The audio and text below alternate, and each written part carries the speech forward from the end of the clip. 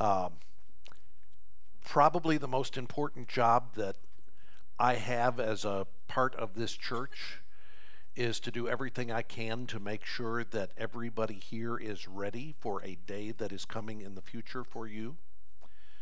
It is the transition day when you will transition from this life to the next one. And there is nothing more important than being ready for that day. And that day came yesterday for Shelley, uh, Sherry DeHenden. Sherry, uh, uh, 10 days ago, had a uh, she had a heart incident. She collapsed uh, as she and Eric were coming out of dinner. Uh, they went to the hospital. She had actually lost consciousness and lost pulse. They revived her. Um, brain function, heart function. Her heart was damaged. Her there was limited brain function, and over the last 10 days, she has been uh, sustained, but uh, no sign. She's never come back to consciousness since that collapse. And yesterday afternoon at 5:07, she uh, took her last breath of air here and started breathing celestial air. Um, there'll be a memorial service for her at 3:30 on Tuesday at Family Life headquarters, and all of you are welcome to come and be part of that. Uh, but uh, thank you for your prayers for Eric and for Sherry.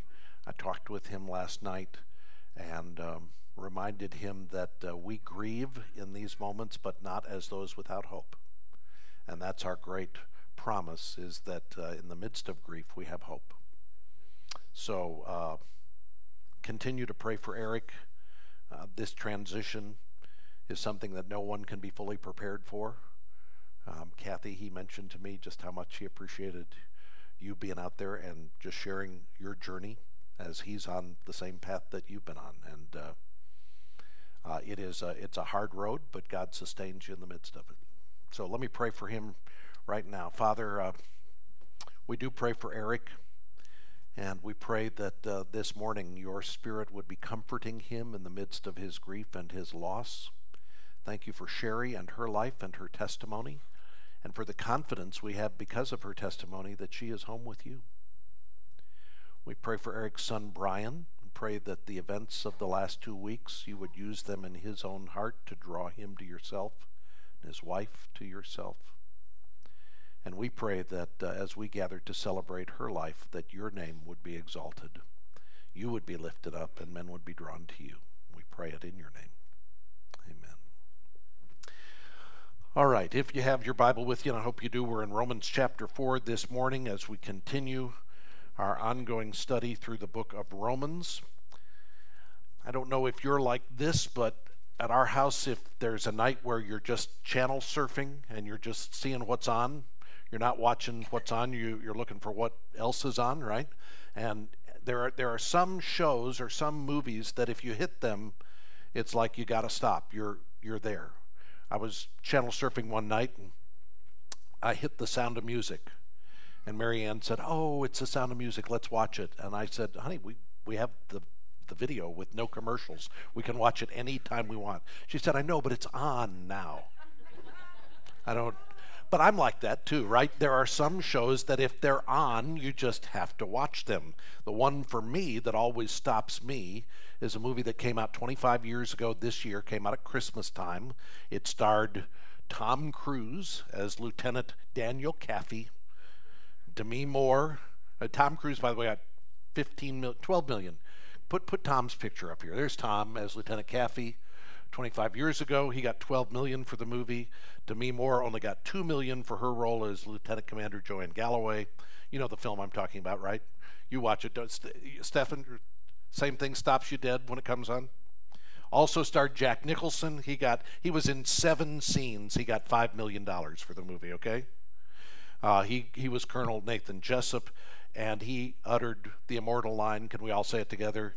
You can't handle the truth. Okay, you know, Eric, Aaron Sorkin wrote that line.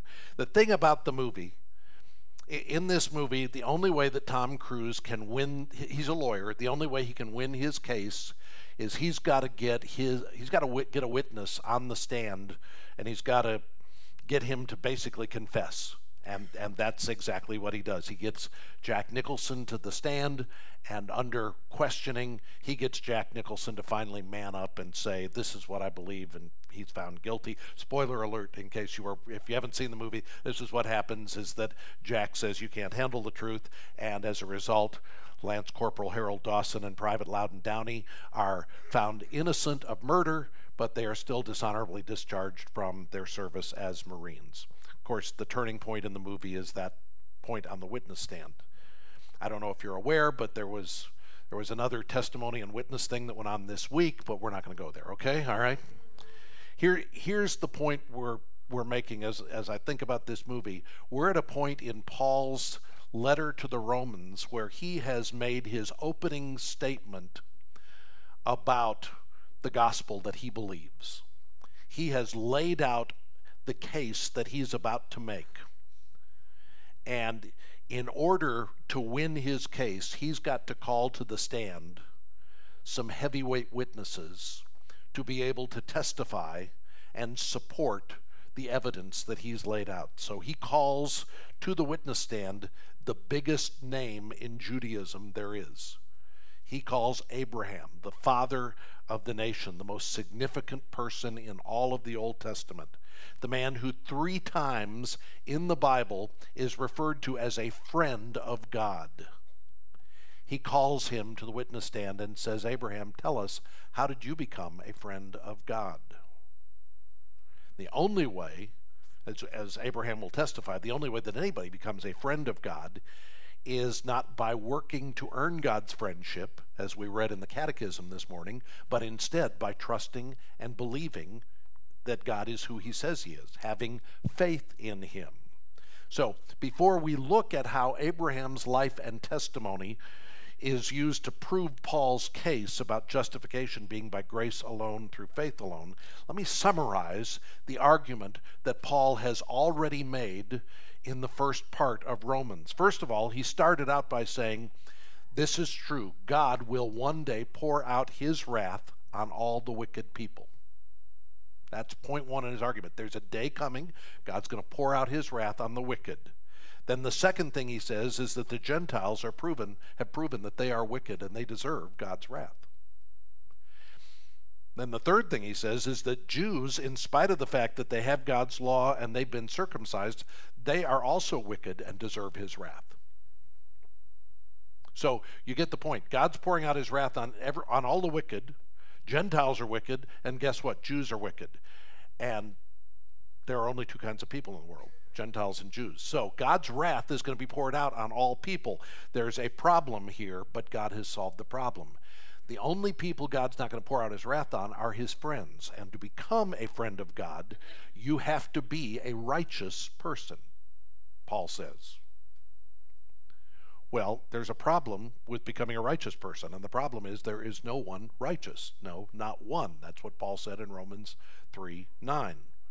So God's going to pour out his wrath on all but the righteous.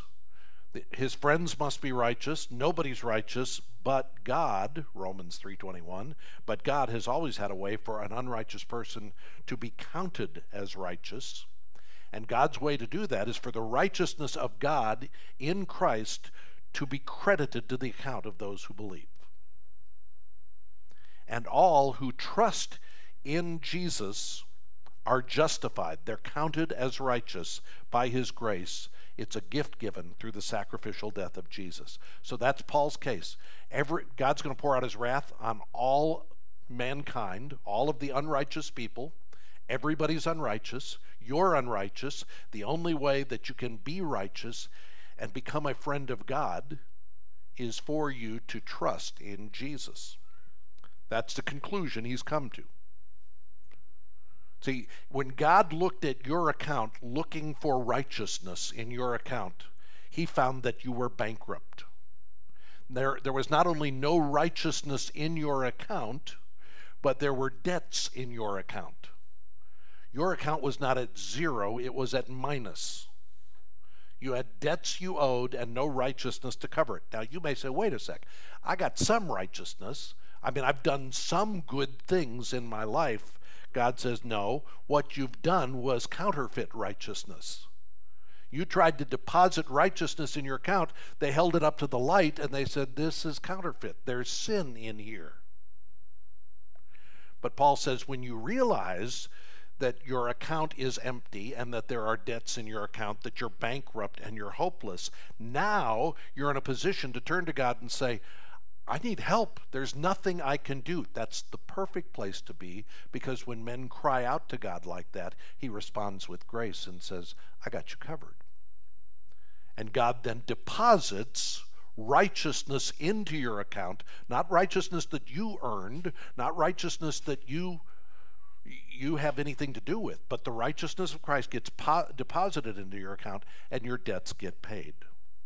That's the case that Paul has made in the first three chapters of Romans. And here he's saying this is not just a new idea. I didn't just make this up. This is how it's always been. And to prove that, I would like to call my first witness to the stand, and that is Abraham.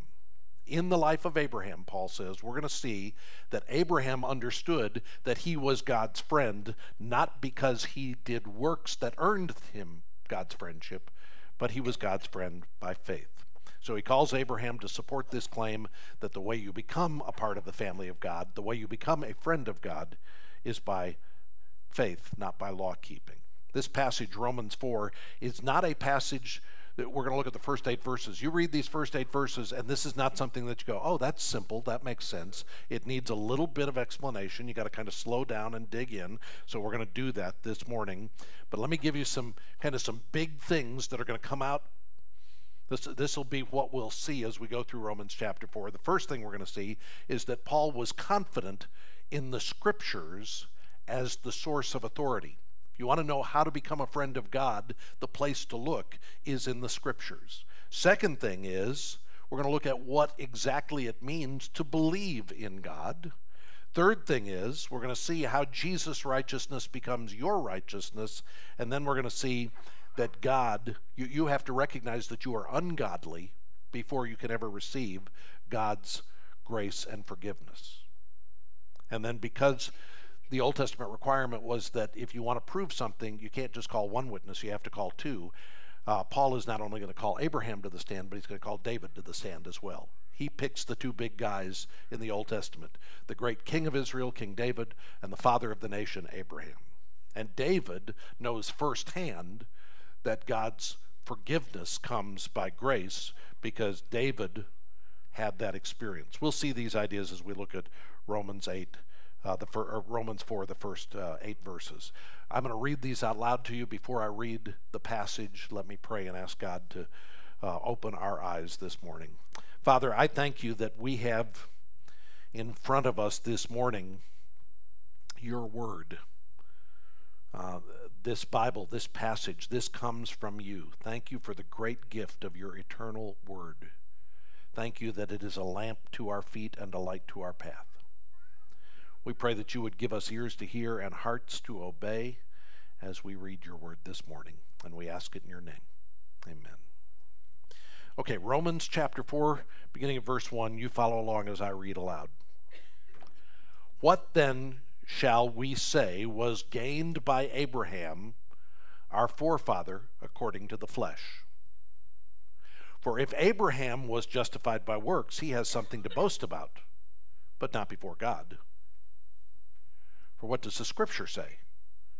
Abraham believed God, and it was counted to him as righteousness. Now, to the one who works, his wages are not counted as a gift but as his due. And to the one who does not work, but believes in him who justifies the ungodly, his faith is counted as righteousness. Just as David also speaks of the blessing of the one whom God counts righteousness apart from works. Blessed are those whose lawless deeds are forgiven, whose sins are covered. Blessed is the man against whom the Lord does not count his sin. Amen. May God bless this reading of His Word. Now, before Paul takes us to this section where we learn about Abraham and his how he became a friend of God, he has already made three main points in the in the passage before this, three big ideas, right, and we looked at these last week. He said because there is no human effort or no human merit involved in becoming a friend of God, you have nothing to boast about if you are God's friend. If you're a friend of God, you have nothing to boast about. You didn't earn that. You don't deserve it. That's the first big idea. And the only way a person becomes a friend of God, whether you're a Jew and Gentile, it's the same for both because there's only one God. There are not two ways to God. There's only one way. It's the same for the Jews and for the Gentiles. And then the last thing that he said in the last passage is friendship with God is a gift that comes to us. And that does not mean that the, the Jewish law is now done away with or that it's meaningless. We'll come back to that later but that's one of the ideas he's got. So we get to the beginning of chapter 4, and he says, I know what you're thinking. What about Abraham, our father according to the flesh? You see, the Jews had believed and taught that the reason that Abraham was a friend of God, which, as I said, he's called that three times in the Bible, they believed that the reason he was a friend of God is because he had done everything that the law required even before it was written. They believed that Abraham had lived a perfectly righteous life. In fact, they taught that he was perfect in all he did and had no need to repent of anything. Now, if you've read Genesis, you know that the writer of Genesis didn't believe that Abraham had nothing he needed to repent of. In fact, there, there are at least two times that we see in there where Abraham's a liar and he is also an adulterer he has lapses of faith throughout his life. Abraham's a guy like us. He was not a super spiritual person who never makes mistakes. He's a normal guy who, if, if what is required to become a friend of God is perfect obedience and righteousness, read Genesis and it's clear that Abraham fails the test. And yet, the Jewish rabbis taught, oh no, Abraham was perfect in his righteous obedience. Now, the only way they could get there is you had to dumb down righteous obedience. We talked about that last week. So, Paul says at the beginning of chapter 4 if Abraham was justified, and that's, that means becoming a friend of God, when you are justified, that's what happens. God makes you his friend. Abraham did not become a friend of God through law keeping. If he had, he would have something to boast about. I mean, if you became a friend of God through perfect obedience, it's like you took the test and you got a 100, you got an A plus. You can walk out of the classroom and go, "See? See what I did?" Abraham did not have a 100 on his test. He couldn't walk out saying, "See what I did." In fact, Paul said just a few verses ago, boasting is excluded. There's no place for boasting. So Abraham can't boast about anything, neither can any of us. The family of God, the friends of God, that group is not made up of a bunch of spiritual overachievers who can brag about what they did and what they've accomplished. In fact, imagine how insufferable it would be to go through eternity if all of us were simply sitting around going, "So what did you do for God?" Oh, really? Oh, well, I did this. Well, I, I think what I, you know, God counted me as His friend because of, oh, you did that. Oh, I'm so sorry. You know, I mean, if we were just doing that for eternity, that'd be hell, is what that would be, right? That's not in the Bible anywhere. There's nothing that says the way that you become a friend of God is by having a spiritual resume. The friends of God are made up of humble people who realize they haven't earned a thing. Abraham, Paul says, he may have something to boast about. I mean, he is the father of a great nation. I mean, let's give Abraham his due. He's a flawed human being, but he was the father of a great nation. He is the one who received the covenant promises of God. He's a little bit of a Jewish celebrity. He's a hero. He's kind of the George Washington of Judaism. He's a big name. I mean, if he walks into the room, everybody else will go, there's Abraham, right?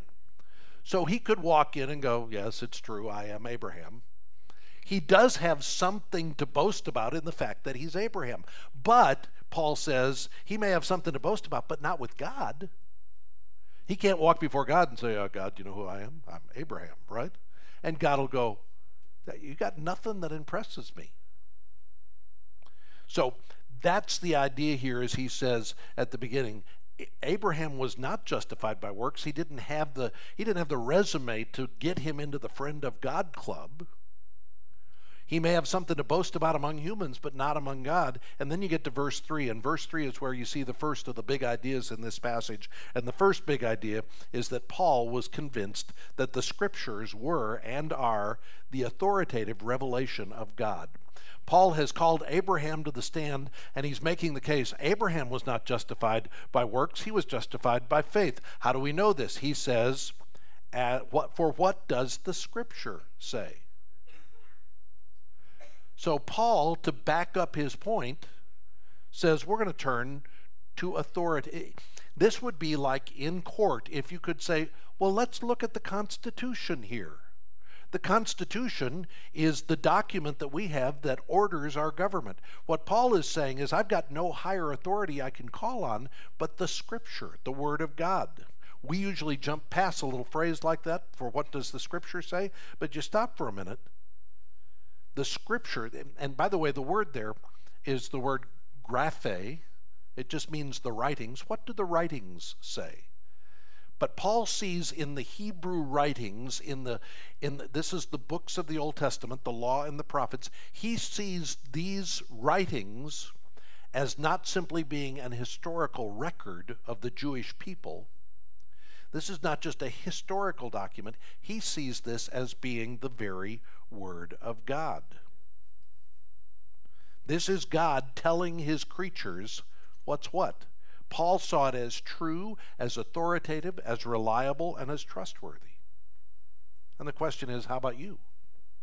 Do you see God's Word as true, trustworthy, authoritative, and reliable? I think one of the biggest issues that we face in our world today, and one of the biggest issues, probably the defining issue, that separates Christians from non Christians, that separates professing Christians from authentic Christians comes back to this.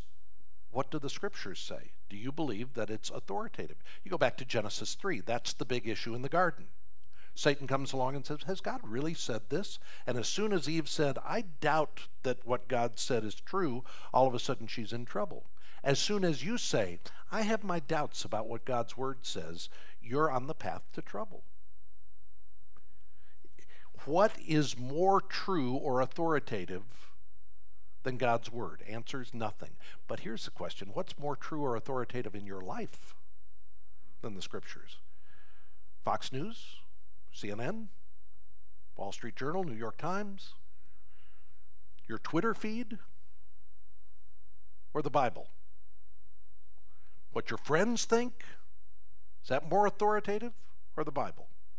You see, the problem we have is when we start to think that what the commentators on TV are saying is more authoritative than what the Bible teaches. When what our friends think is more important to us than what God thinks. Six weeks ago, we had the big March for Science, you know, w- was not really about science. It was about politics, but that's another message, all right? I, I like science. I didn't do all that well in it in school, but I'm glad we have it, right? I'm glad it's there. I think science is true. I trust science. We would not be having this service today if it weren't for an understanding of science. We wouldn't have lights, we wouldn't have sound, we wouldn't have air conditioning. We wouldn't have the drip happening there in the hallway because of that, right? So I like science, I trust science, but listen, I trust the Bible more. And if science and the Bible are saying things that are at odds with one another, then we just haven't understood one of those two things enough yet. Sometimes it's because we haven't understood the Bible well enough yet. Sometimes it's because we haven't understood science well enough yet. I mean, all you have to do is go back about 40 years and you'll find things that scientists were saying were true that today we say, well, that's not true. Marianne and I laugh about this all the time because I will say, now remind me, is soy good for you or not? right? Because 10 years ago, soy was great. Now soy is going to kill you, right? I mean, you can just go, you don't have to go far to find things that science said that people said, this is true, science proves it. And 10 years later, it's like, okay, well, that's not so true. Like the best thing you can do to eat heart healthy is to avoid butter. No, today that's not true. Now, I'm not sure what that's going to be 10 years from now. I don't know. But I'm eating butter today, I'll tell you, all right? I'm good for I'm good with butter. I like it when science lines up with what I want, okay? But I'm starting to think maybe we need a march for the Bible. Maybe we need some people saying that when it comes right do, down to it, what the Bible says is more important and more authoritative than anything else. So, is the first question you ask about things is what do the scriptures say? When you're facing an issue in life, when you are dealing with truth, do you ask the question, let, let me ask first, what does the scripture say about this? And notice he says, he doesn't say, what do we read in the scriptures? He says, what does the scripture say? Because for Paul, when you read the scriptures, you're hearing the voice of God. It is God speaking to you. John Stott said, Paul's quasi personification of the scriptures as being able to speak indicates that he draws no distinction between what the scripture says and what God says through it. You read the scriptures, you're hearing the word of God. And songwriter Rich Mullins said it this way He said, I believe what I believe is what makes me what I am. I did not make it. No, it is making me. It is the very truth of God, not the invention of any man. Paul is calling on his, he's got his top witness on the stand. He's drawing his most compelling source of truth to make his case. So he says, What does the scripture say? The second half of verse 3 is where we find the second big idea in this passage. It's a quote from the Old Testament, from Genesis 15 6 where the Bible says Abraham believed the Lord and it was counted or reckoned or credited to him as righteousness. The big idea number two is Abraham became a friend of God by believing God. Now, let me talk just a minute about what it was that Abraham believed back in Genesis 15. Because Abraham had believed God before Genesis 15. But something happened in Genesis 15 where Abraham's belief in God was counted as righteousness.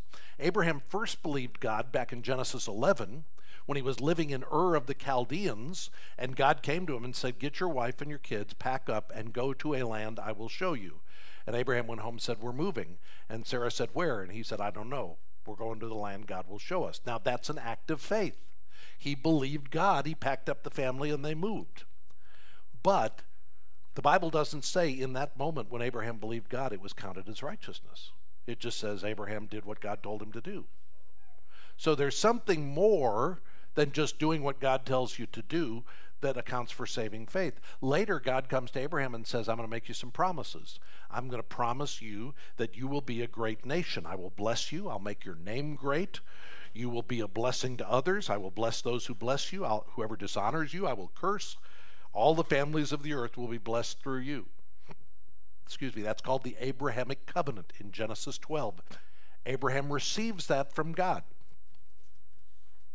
So, what happens in Genesis 15? Well, turn there. Turn to Genesis 15 and let's look at the first few verses and see what is going on in this scene. Verse 15, uh, chapter 15, verse 1 says, After these things, the word of the Lord came to Abram in a vision. Fear not, Abram I am your shield, your reward shall be very great. So God comes to Abraham, he says, Don't fear, I'm going to protect you, you'll have a great reward. But Abram said, O Lord God, what will you give me? For I continue childless. The heir of my house is Eliezer of Damascus. Abram said, Behold, you've given me no offspring. A member of my household is going to be my heir. We've got a problem, God. You promised to bless the nations through me. I've got no kids everything I have is going to get is going to be left to my butler, Eliezer of Damascus. Verse 4 Behold, the word of the Lord came to him This man shall not be your heir, your very own son shall be your heir. He brought him outside and said, Look toward heaven and number the stars if you're able to number them. And then he said to him, So shall your offspring be. This was a clear, pitch black night in the fields outside in, in Judea, when they when he looked at the stars, you ever been out there in one of those nights where the stars are just it's like they flood the skies? That's what Abraham was looking at. He couldn't count the stars. And that's the point. God says to him, Your offspring are going to be as numerous as the stars in the sky. And then it says, Abraham believed the Lord, and it was counted to him as righteousness. So something happened that night. He believed something. Here's what he believed he believed that night that the blessing of God to humanity was going to come through his seed, through his offspring. He believed that God would give him a son who would be the one who would bring the blessing to all people. He believed a Messiah was coming. And when he believed that God's plan for blessing humanity would come through a person, he believed the gospel. And that was counted to him as righteousness. He didn't know Jesus' name. He didn't know if it was going to be his son Isaac or his next son, Jacob. He didn't know who was going to be. He just knew that God was going to bring, and he believed that God was going to bring to him an offspring. In other words, he believed in the son of promise, that God's promises would come to pass through the son of promise. He believed the gospel. Now, when I say he believed the gospel, we have to understand what belief looks like, what it means. Belief, the, the reformers said it this way the reformers said there are three things that make up saving faith. In order to have saving faith, your belief has to include three things. First of all, it has to have knowledge. You have to know the facts. You can't believe something that you don't know, so you have to know the details. Second, it has to have assent. You have to agree that the facts are true. And then third, there has to be trust. You have to trust that what is promised will come to pass. Knowledge, assent, and trust. Let me let me do a demonstration. I'm going to need a volunteer, somebody who's under the age of 10 who is willing to volunteer. Is there somebody here who is willing to do that? My granddaughter Rosie is willing to do that. Come up here, Rosie, if you would. Rosie's here from Indiana. Step right up here. Thank you for being a volunteer. I didn't see you raise your hand, but you're okay doing this, right? All right. Okay. So, I'm going to ask you some questions about this. What is this thing right here? A chair. It is a chair. Very good. How do you know it's a chair? Um, That's a good question, isn't it? Right? That's called epistemology. You'll learn about that later. We won't get into that right now, okay? How do you know it's a chair? You know it's a chair because you've grown up being taught that this is a chair. You believe it has the characteristics of a chair. It fits the model of what a chair should look like, right? Okay. So you believe in the do you believe this chair actually exists? Do you believe it's really here? It's not just you're not just imagining it. It's it's a real chair. Is that what you believe? Okay. Rosie believes in the reality of the chair. She's not there yet. Do you believe that you could stand up on this chair and it would hold your weight? Yes. Do you believe that G Daddy could stand on this chair and it would hold his weight? Uh. Yeah, that's a different. Rosie's a smart girl, isn't she, right? Do you think? You think I could stand on this chair and it would hold my weight? Let's see. What do you think? What do you think?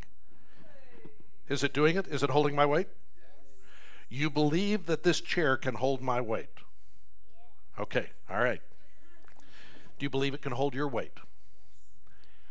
Okay, now Rosie not only believes in the chair, she believes this chair could hold her weight. She's not there yet. Is this chair currently holding your weight? Oh, it's not currently holding her weight. Would you like to step up on the chair? Now, is this chair holding your weight? Basically, yes. Do, do you believe that if you jumped up and down on this chair, it would continue to hold your weight? Maybe, yes. It would. Okay. If I did it, maybe not. But you, it'll it would hold. But we're not going to test that part out. But this chair is now holding your weight, right? You believe it can do that, and if you continued to stand on this chair, you believe it would continue to hold your weight, right? Yeah. Okay. Now Rosie has gone from believing in the existence of the chair, and believing in what the chair can do to actually trusting the chair. She got up here, she's standing here by herself. She has confidence that this chair not only can, but is holding her weight. Would you thank Rosie for our help? Thank you. You may step down. You can go back to your chair. That will hold your weight.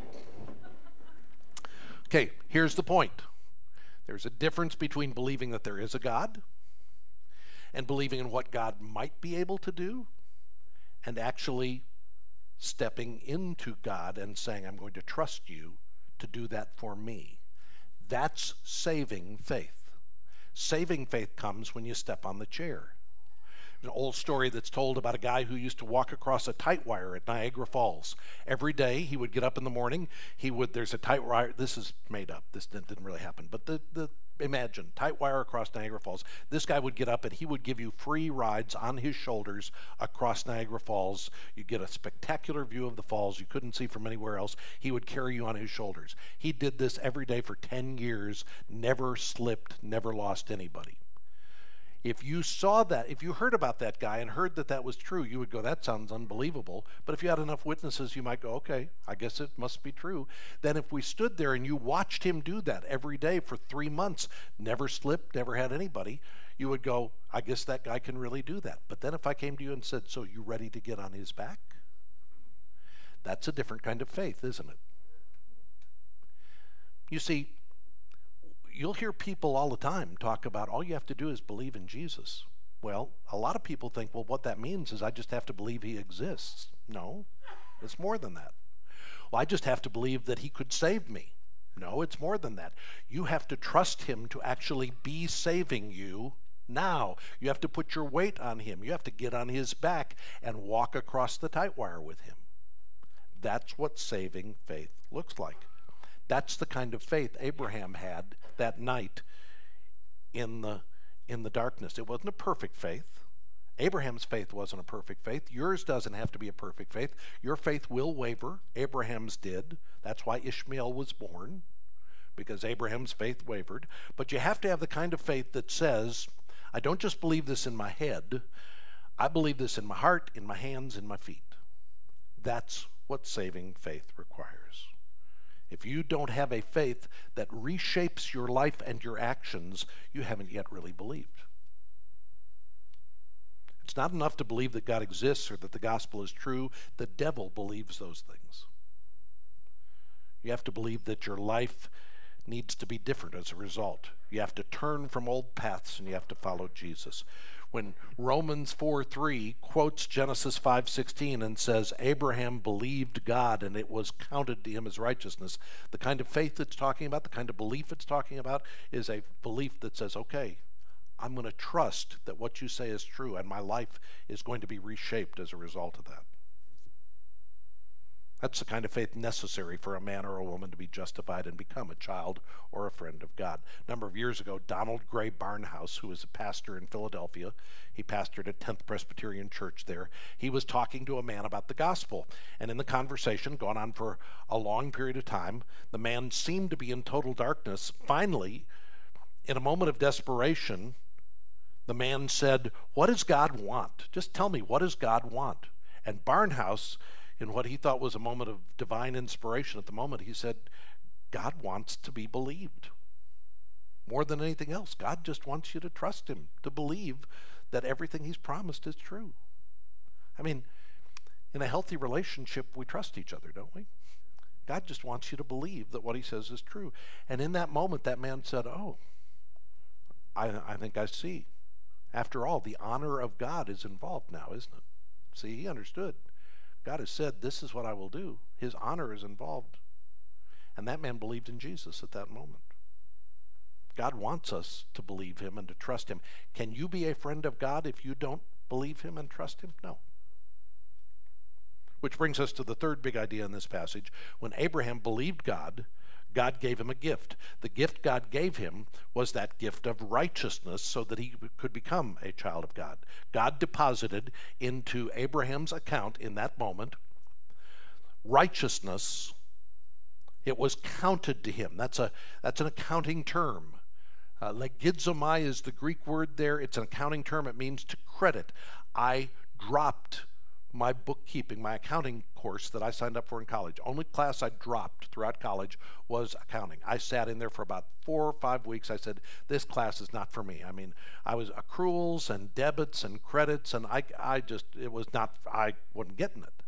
So uh, it was too complicated. LIFO and FIFO, you know, you know what I mean? Last in, first out. Anyway. But I do know how to follow my checking account online, okay? So I can look at that and I can tell in this column is the money I've spent where I've I've paid things to people and in this column is the deposits I've made and it's always better when this column has more in it than this column does, right? Paul has been using this accounting language. In fact, he uses logizomai five times in six verses here. And here's what he's saying Your bank account, Abraham's bank account, had zero, had a negative balance. Zero righteousness and debts were included.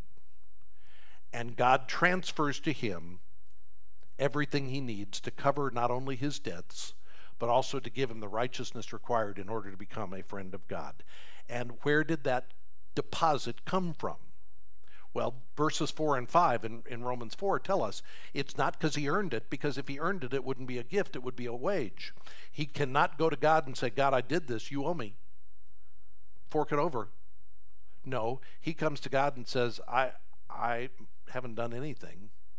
God says it's a gift. Now, some people think, again, I've done some good works, but they were counterfeit good works can't be both a gift and an entitlement. Believing the gospel means that you have to abandon your reliance on or your trust in any righteousness of your own, any good works of your own. You, we want to desperately cling to the fact that, wait, I did something. Believing the gospel means you got to let go of that. You got to let your fingers go of that. We, you give up trying to earn his love or his attention. You give up on that pursuit because it doesn't work. You rest in the fact that because it's a gift, God's love and attention will be yours as a blessing, as a free gift. He gives us that blessing. It's counted to you as righteousness. So the question for us this morning is are we clinging to any hope of our own? Are we clinging to any idea that the debt we have we can somehow repay? That God owes you a blessing because you did your good deeds this work? Week. I mean, in the back of our mind, we do have this thought that if we just do what we're supposed to do, that's going to insulate us from trouble. And, and then trouble comes along and you go, wait, that's not fair. I've been trying I've been trying to do I've been trying to be a good person and God makes this happen. That's works righteousness thinking. Do you think because you were kind to somebody today, God owes you something? Do you think that because you went and visited the nursing home, you should get a blessing other than the blessing you get from visiting the old folks in the nursing home. You, God should somehow go, Well, you did a good thing. I'm going to give you a deposit today. That's not how it works. You had a quiet time every day this week. Do you think, okay, I did my quiet time. I didn't miss a day. Therefore, I deserve something. See, that's how our thinking works. I, I wrote a bigger than average check to the church. Now, actually, that does count for. No, I'm kidding. That's just kidding. Listen to what the hymn writer says not the labor of my hands can fulfill thy law's demands. Could my zeal no respite know, could my tears forever flow, all could for sin could not atone. Thou must save, and thou alone. You heard about the two frogs who jumped in the milk pail? You ever heard this story? Two frogs jump in a milk pail and they're drowning in the milk. They can't get up. There's nothing to get up. They're just drowning in there. And so one of them just goes, it, it's we're hopeless, it's over, we're dead, and he just dies. He just falls to the bottom of the milk pail dead. The other one starts thrashing around in there and goes, I'm a, I got to get out of here some way. And he thrashes and thrashes and thrashes, and he does it long enough that he starts churning the milk into butter. And as soon as he churns it into butter, now it's solid. He can get on it and he can hop out of the milk pail. Okay? A lot of people think that's how the Christian life works that you're stuck in the milk pail, and if you'll just work hard, that God will give you some solid land. You can jump out. No, no, no. That's not how this works. You don't keep working hard to earn hope. We have hope because of what Christ has already done. You don't solve your righteousness deficit problem by continuing to thrash around in life and hope that some butter comes under your feet. Your problem is solved when God reaches into the pail of milk and he rescues you. Okay, last point. And this is King David in verses uh, 7 and 8 here. Paul calls David to the stand.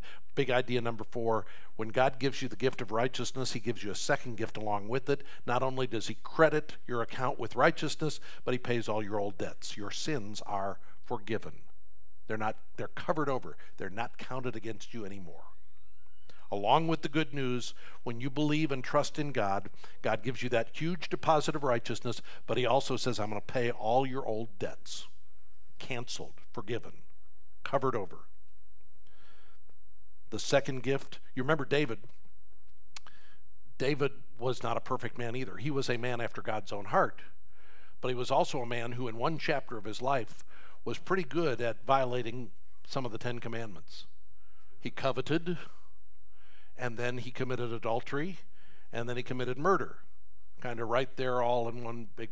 And and he thought he'd kind of gotten away with it until his friend Nathan comes and says, Everybody knows what you did. You're the man. And David is busted and he's broken before God. And if you want to read the account of his brokenness, you go to Psalm 51 and Psalm 32, and he talks about confessing his sin. And, and so David understands this issue, what it is to have sin, but he also understands what it is to have your sin forgiven. And, and he, there are two words used here for the different kinds of sins. I'll say this quickly. There is the word anomai, uh, antinomianism. There's the word that where he says one kind of sin is that sin against the law, where I do what I shouldn't do. There's another kind of sin, and that's harmart. Uh, I, I can't say it. Hamartii, which is the sin that where we say we don't do what we're supposed to do. There are two kinds of sins we have in our lives. When we do what we shouldn't do, that's one kind of sin. When we don't do what we ought to do, that's another kind of sin. David says both of those are forgiven in Christ. Doing the wrong thing and failing to do the right thing, both are forgiven when God gives you the gift. In fact, I'll wrap up this, this section, I'll wrap up this message with this great quote. This I love this quote from Psalm 51 here's David. He's writing this, this song, which is his song of confession and his rejoicing in the fact that his sins are forgiven. And he says in Psalm 51 at verse 14, he says, Deliver me from blood guiltiness, O God. Blood guiltiness means I'm guilty of the murder of somebody else.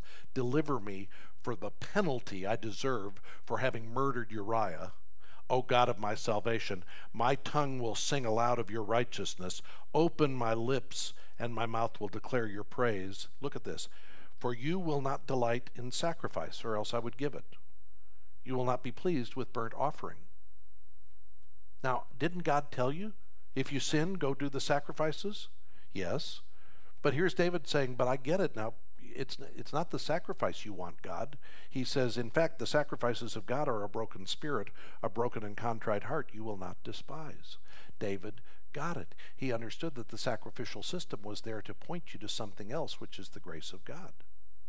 He says, I understand it's not the sacrifices that earn me anything. What God wants is a broken and contrite spirit. He wants me to come before Him and confess my sin. Have you done that? Have you confessed your sin to God? Have you trusted Him to give you the good gifts of righteousness and forgiveness? And are you resting in that? Not just, not just have you once stood on the chair and now you've hopped off and you're run around on your own, but is your life lived on that chair? Is that an ongoing practice of your life? This table behind me is a picture of what it cost God to be able to pay the debt we owe and to be able to give us the righteousness. The, the bread and the juice represent the body and the blood of Jesus. The body of Christ, he lived his life in perfect obedience and earned for us the righteousness required to become a friend of God. And then that's transferred to our account when we believe. The blood of Christ is the price paid through his death for forgiveness of sins. Our sins are many with no way to pay for forgiveness. He pays it through his blood. This table represents for us what Abraham believed that the perfect righteousness of Christ and the forgiveness of sin is found in God alone, not in human effort. And as you come to the table this morning, that's what you're confessing, that you believe that as well. that your sins are covered over and the righteousness of Christ is accounted to you because of what Christ did. Let me say something to those of you who are here as visitors. We practice what we call open communion here, which means that this table is open to any who can say, I have put my trust in Christ. I have abandoned all hope of trying to save myself. My only hope is in Him, and my life is committed to Him. If you're here this morning and that's your testimony, you're welcome at the table.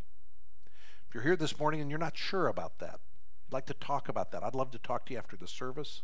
Love to answer any questions you might have about the message this morning, or talk about what it means to be a friend of God and how you achieve that through believing in Him, not through anything you do. So let's talk about that after the service. We're going to take a time here for those who are Christians to come down the outer aisle to receive the bread and the juice. You'll go back through the center aisle, take them to your, uh, your seat with you, and we'll take communion together. Uh, if you're here this morning and you're you're unsure about any of this, you're not a Christian, rather than just coming and receiving this stuff, just think about what you've heard this morning and maybe just spend some time in prayer and uh, and then we can talk after the service if you'd like to do that. You prepare your hearts while I prepare the table.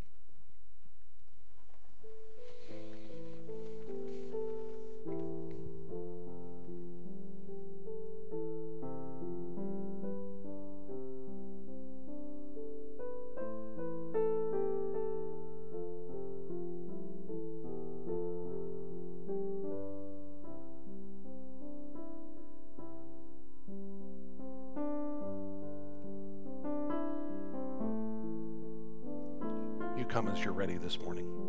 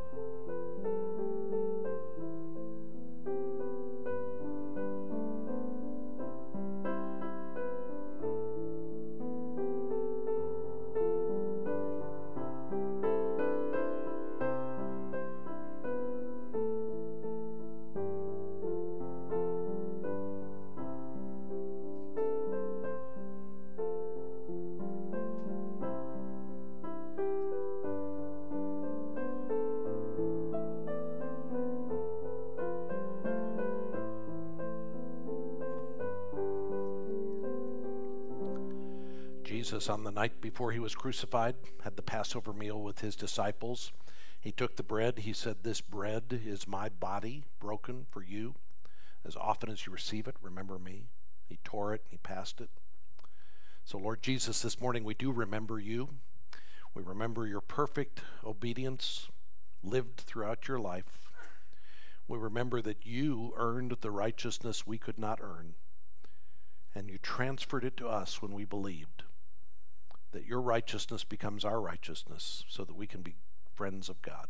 We receive this now with grateful hearts as we feast on Christ in our hearts. Amen.